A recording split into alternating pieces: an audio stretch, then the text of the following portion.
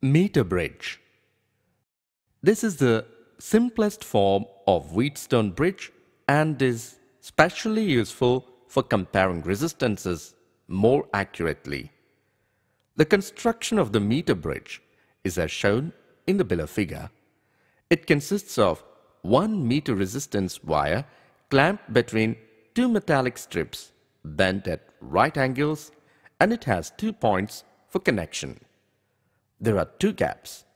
In one of them, a known resistance whose value is to be determined is connected.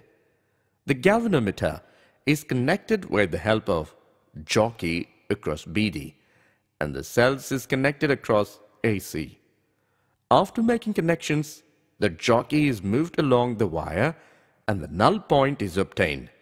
The segment of length L1 and 100 minus L1 form two resistances of the Wheatstone bridge. The other two resistances being R and S. The wire used is of uniform material and cross section.